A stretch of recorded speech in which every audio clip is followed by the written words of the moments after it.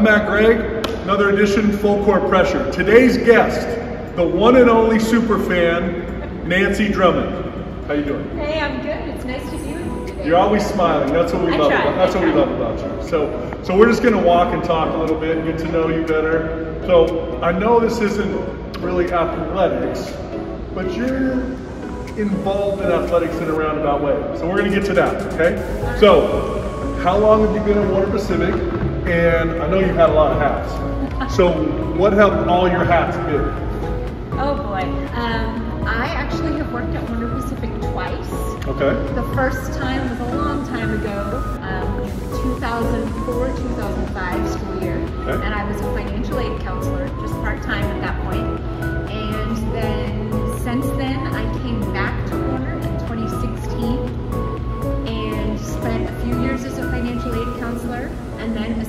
Director of financial aid, and then director of financial Jeez. aid.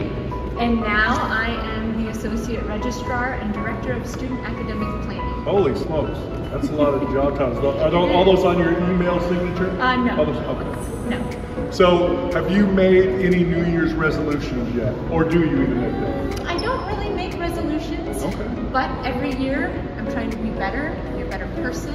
Um, my faith is really important to me, so be a little more like Jesus every year, ev- every day. Um, and then I really this year started teaching a course about how to overcome self-sabotage and decided I was sabotaging myself, especially in my health, a Okay, lot. okay. So I've made some changes in that area and I'm feeling good and so I'm proud of myself for that and hoping just to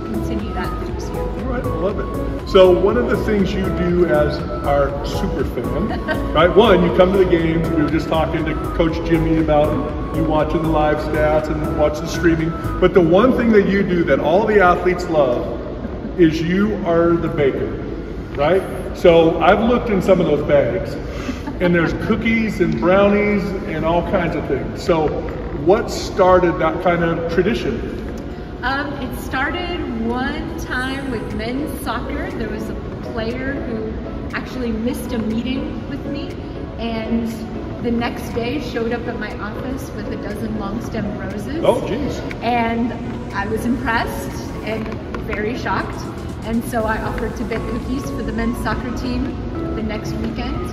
And it kind of just started a tradition that has not ever stopped and hopefully we'll just keep going. Yeah, I love it. I mean, I don't think I don't know if I've ever had any of them, you know, because I like to just make sure I give them out to the teams, not just me, but you can tell. I'll, I'll have to make you a special batch. Okay, I, I like that. I like that. So one of the things, I mean, you are Warner Pacific through and through, right? I mean, you have great relationships with all of our student. I'm not even going to say student athletes. All of our students. You do a great job with them, getting them dialed in on their financial aid. Now getting them involved in all their classes, that kind of thing. What would you tell a student athlete or just an overall student about Warner Pacific? I would say show up.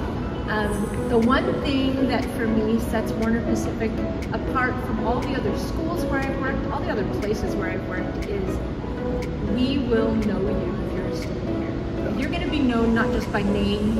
I'm going to probably stop you favorite candy at my desk. I'm going to check in with you. If I see that it's your birthday, I'm to send you a message. If you follow me on Instagram, I'm going to follow you back and enjoy all the details about your life. And that's not just a me thing, it's an everybody thing. Yeah.